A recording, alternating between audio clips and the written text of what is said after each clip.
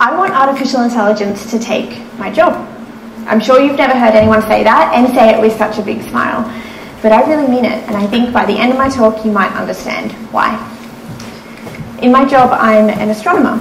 I explore the universe using physics and try to understand the meaning of it all. It's a big question. In my job, it means that the night sky is my work office. This is both a wonderful thing and a terrible thing at the same time. It's wonderful because the universe is infinitely beautiful and almost infinitely interesting.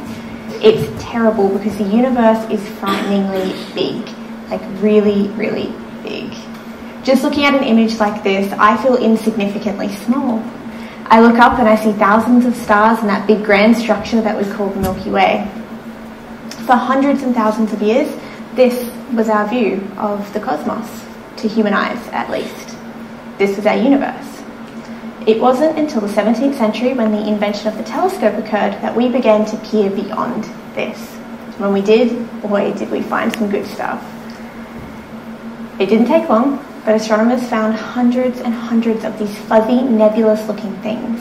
They confused us for a very long time, and in 1929, Edwin Hubble confirmed that these were in fact galaxies far, far away.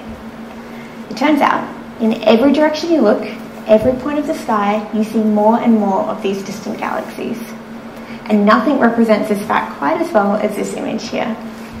Taken using the James Webb Space Telescope, one of the first images ever released, what you're looking at is 10,000 galaxies in a single image. If we were to try count all of the stars, there would be over 1 trillion of them, and it's just remarkable. It is impressive in itself, but it's about to become mind blowing because this image is just the tiniest pinpoint on the sky. It's about as big as a grain of sand if you hold it in your fingertips and point it out as far away from you as you can. Little pinpoint on the sky. 10,000 galaxies. We can use images like this to estimate that in our universe we expect there should be about 6 trillion individual galaxies observable. Some really big numbers. So back to my job as an astronomer. I didn't know what to expect when I first started. I thought maybe someone would plonk me on a telescope and I'd look at a handful of galaxies and I would discover new things and live a very happy life. None of that was true except for living the very happy life. What happened on my first day was my supervisor showed me this. This is an image taken with one of the biggest cameras we've ever developed on the Earth. It's called the Dark Energy Camera. It sits on a telescope in Chile, and what you see here is over 500 million pixels in a single image spread over 62 CCDs. If we count all of the astronomical sources in that image, we would get over 300,000 of them. It's a lot of data. So I was stoked. I'm like, excellent, this is my data, this will be my PhD. Until my supervisor said, yes, but you have 10,000 of them. 10,000 images like this, each with 300,000 sources minimum. That was, that was my work. I had to go through them all and figure out what was important, what was interesting, what was new physics. As you can imagine, this is incredibly overwhelming. And it, this is where machine learning and artificial intelligence comes in to save my days, save my years. I did the quick calculations to figure out if I looked at each source individually, how long would that take me? It can't be too long, right? If I was to look at all 10,000 images, every single source, I'd be sitting there for seven years. That's seven years, no sleep, no breaks, no weekends, no holidays. Seven years just looking at a computer. Now, I don't know about you, but I don't want that to be my job. I don't want to just sit and stare. I want to do the fun stuff, the physics, the discovery. So we need machine learning, we need artificial intelligence because I can't do it all myself. We can't do it all ourselves as astronomers. One way that machine learning can help with problems such as this image here is by helping us classify what is in them. In this, there's a lot of stuff we already know. I'm sure you've probably spotted a big, beautiful galaxy in there. And I could stand here and explain to you that one of these things I think is a galaxy, one of these things I think is a star. Lots of stuff we already know if I was to sit down and individually rank every object, it would take me forever. So what we can do is use supervised machine learning to help classify this. The algorithm that helps us the most is something called a convolutional neural network. It has revolutionized the way that we classify objects from images. And you can think of it as a little brain inside of the computer. What happens is it has neurons that train on images just like this, that I've labelled and told it what it is, and it creates its own functioning little mini brain. The neurons decide what decisions it makes based on the features it sees. They're very simple and they're very easy to train, and when we do it right, they're incredibly powerful. We can take thousands of images of data and process them within the matter of hours, days maximum, and get our answers. It's revolutionary. It has changed the way we do astronomy. But that is just the tip of the iceberg, the very, very tip of what AI can do for us. You see, my job isn't just to classify everything that's in this image. My job is to discover the new things, the interesting things, the things we don't know exist yet. That's a very hard job. How do you look for something if you don't know what you're looking for? Often, the things we are looking for are something we call transients. They're changing over time, and they can be anything from supernovae, so dying stars, to black holes having a meal, and everything in between. These are so interesting because it's where the really high energy unique physics happens. And the, the good thing and bad thing, I guess, is that every single type of transient we've found in the past, we've done it by hand and eye. It's something we call serendipitous discovery. Someone didn't know they were looking for the transients, looking for a black hole burping or a star dying. They saw it in the data, and their human intuition told them it was important. My favourite example of this is the discovery of the pulsar. Pulsars are rapidly rotating dead stars, and as they spin, they shoot a beam of radio wavelength towards the Earth. What you need to know is that they are effectively invisible to all of our imaging telescopes. We didn't know they were out there we might still not know they were out there if it wasn't for the work of Jocelyn Bell Burnell. She was a PhD student and she was tasked with looking at paper printouts of data coming off a radio telescope they were commissioning by hand and eye.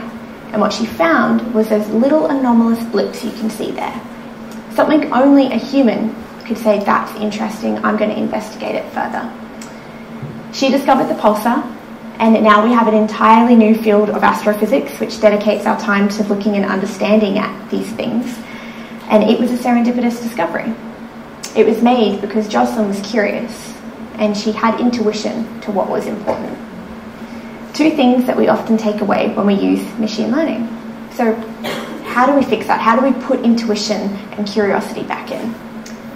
One way is to do something called unsupervised machine learning, and personally, this is my favourite area of research currently. I could talk your ear off. But the gist is, we let the data do the talking for us. We go in with no preconceived ideas of what we're looking for, and instead, we let the data speak for itself. One of the best examples in astronomy is something I work with a lot, and that's called a light curve. It's the change of brightness over time, and we can make it for any astronomical source out there. They're very simple. At one point, I had made millions of these on a supercomputer, and if I had to look at all of them, I would probably still be sitting at my desk looking as I speak now. It's an enormous task, but we can use unsupervised learning to help us along the way. So what we do is we break down a light curve like this into a set of features. Somehow we describe it with single numbers, or you could think of it as the slope of the curve or the median value we feed these features into something we call a clustering algorithm. Now, clustering algorithms are pretty remarkable. They're able to group like data with like data. And you can imagine that is extraordinarily powerful when you have data that you're trying to mine, trying to understand. This is very, very powerful. But remember, I'm looking for things that are new and unusual, we've never seen before. There's probably not very many in the universe. Clustering can also help us with that because what it can do is outline the outliers and the anomalous sources. Those that are too weird, they don't fit into any other groups, you haven't seen them before. It can help flag it, all through the power of data and numbers. Now, unsupervised machine learning certainly is not perfect, but it does edge us a little bit closer to mimicking that human intuition of discovering something new and unusual. And this will become more important in the next decade as we build bigger telescopes and collect more data than we ever have before. Astronomers have to change, we have to adapt and evolve because otherwise we have too much data. It's a physical impossibility for us to look at it all. So, what that means is astronomers like me need to rapidly improve our skills. The way I did that was learning how to utilize artificial intelligence. As I was learning this, I was doing it selfishly for me. I wanted to get through my data as quick as possible. I didn't want to sit at my desk for seven years straight. What I didn't realise though is the skills I was learning were completely transferable and applicable to other fields.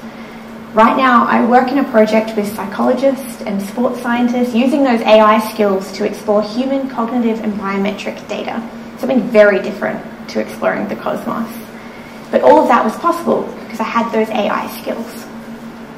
It's not just me. I have many colleagues and friends who were astronomers using their newly found AI skills and have entered different fields, from satellite imagery to medical imaging to even finance and stock markets.